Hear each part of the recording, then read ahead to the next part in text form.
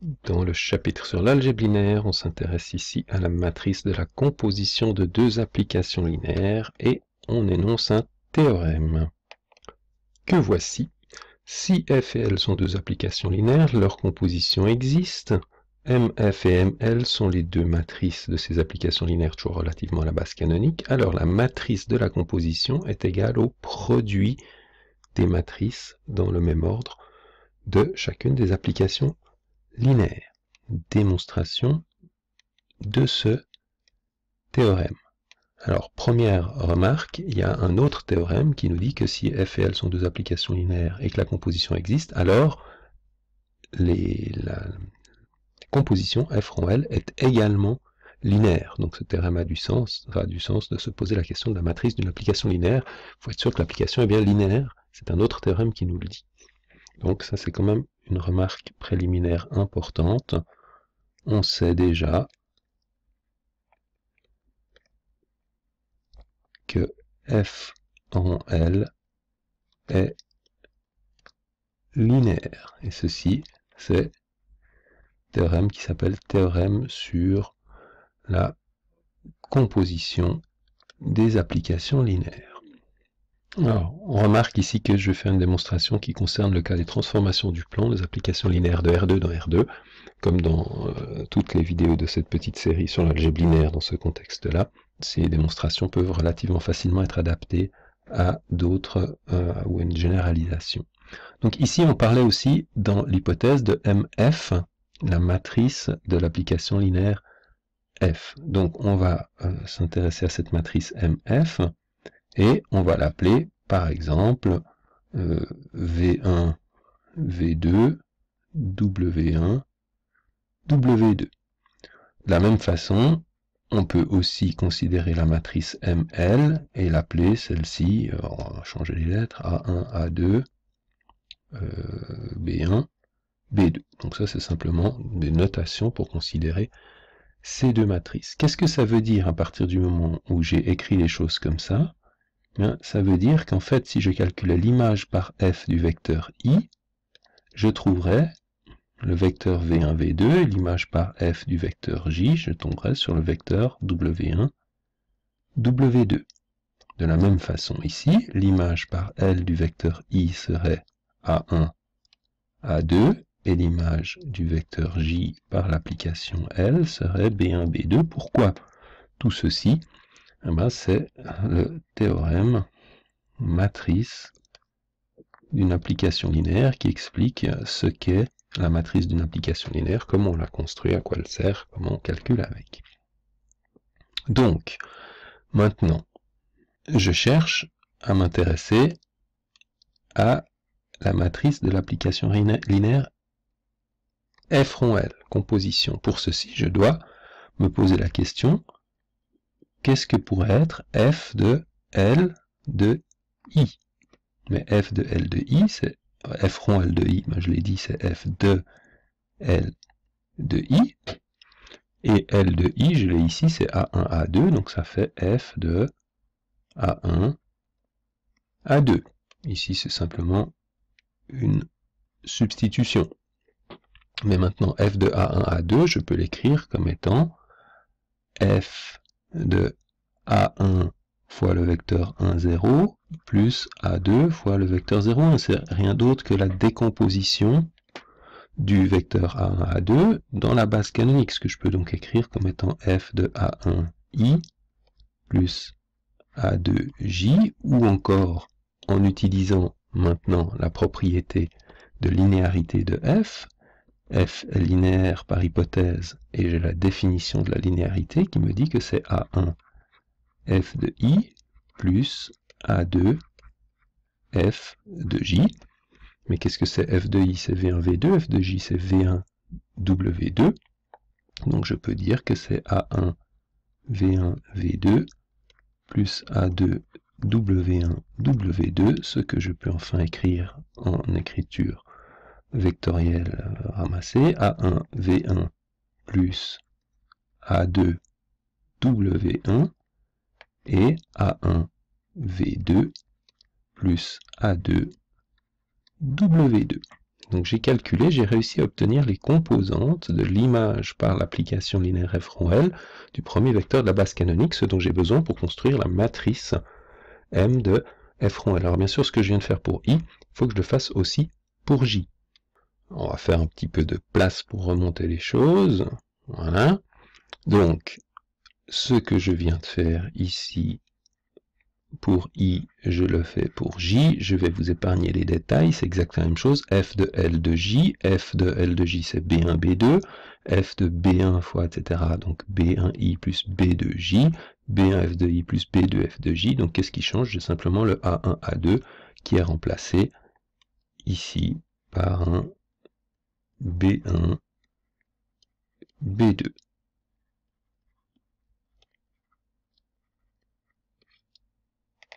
Pourquoi est-ce que j'ai calculé l'image par f rond L des deux vecteurs de la base canonique? Parce qu'à partir de ces deux informations, je peux construire la matrice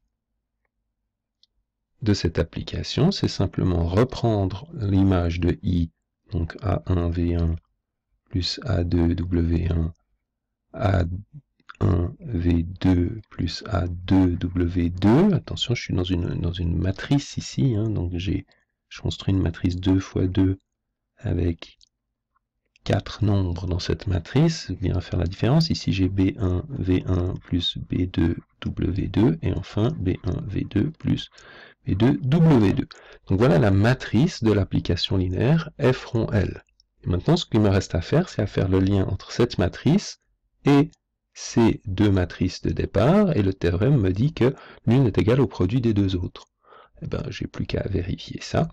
Si maintenant je calcule MF fois ML, eh bien MF, elle est là, c'est V1, W1, V2, W2, fois A1, A2, B1, B2, et le calcul matriciel, définition de la multiplication des matrices, me dit que j'ai V1A1 plus W1A2, V1A1 plus W1A2, V2 A1 plus W2 A2.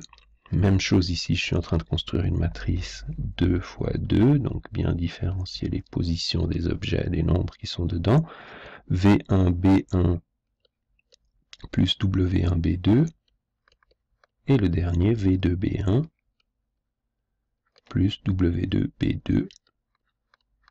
Ces deux matrices a1V1, A1V1, A2V1, A2W1, pardon, A2W1, donc cette, ce, nombre-là est bien le même que celui-ci, et etc. pour les trois autres. Donc les deux matrices sont égales.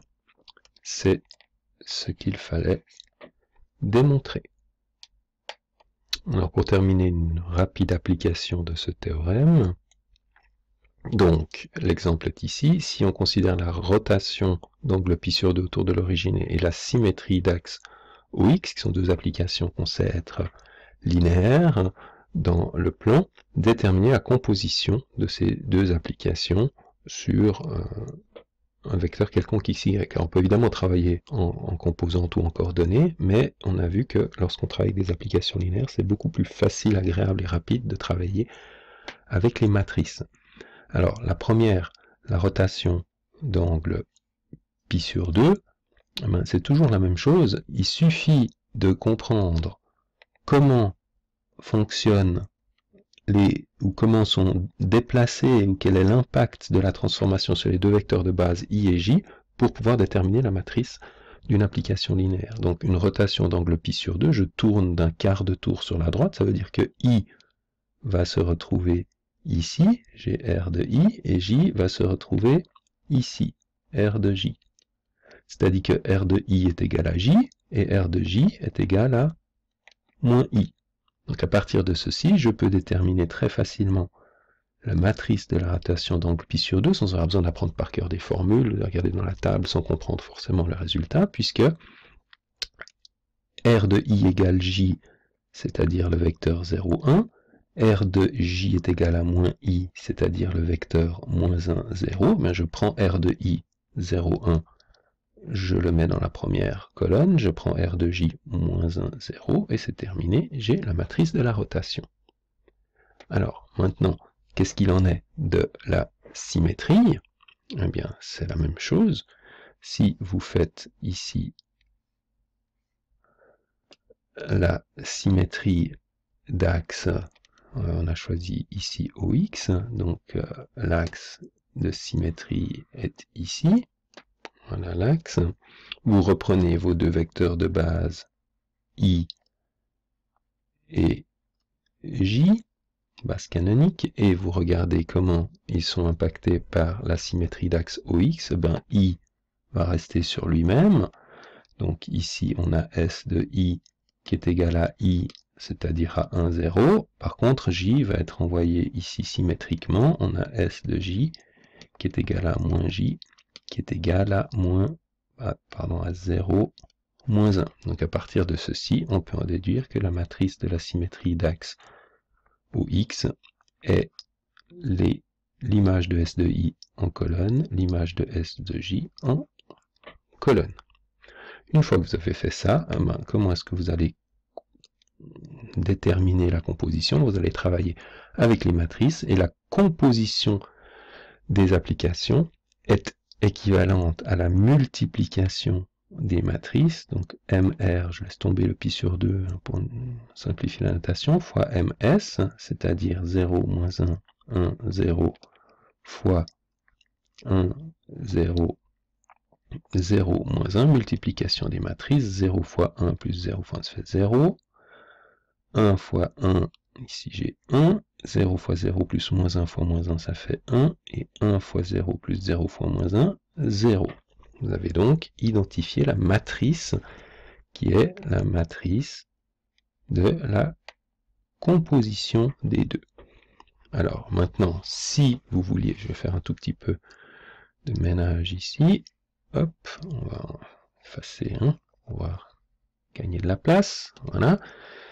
Donc, partir de là, qu'est-ce qu'on a trouvé? Ben, On a trouvé que si on voulait calculer, par exemple, S de OX euh, rond composé S pi sur 2 de XY, ben, il suffirait de prendre cette matrice 0, 1, 1, 0, de l'appliquer à XY, et on obtiendrait 0 fois X plus Y, c'est-à-dire Y, 1 fois X plus 0 fois Y, c'est-à-dire X, et l'envoie XY sur YX. On pourrait s'amuser à comprendre ce que ça veut dire. Ça veut dire que le vecteur i et le vecteur j qui sont là, i est envoyé sur j, hein, puisqu'on inverse simplement les coordonnées, alors que, donc ici j'ai s rond r de i, alors que j est envoyé sur i, s rond r de J. Donc quelle est la transformation du plan qui envoie I sur J et J sur I? Eh c'est la symétrie d'axe Y égale X. Donc la composition de cette symétrie et de cette rotation est une autre symétrie. Joli, non?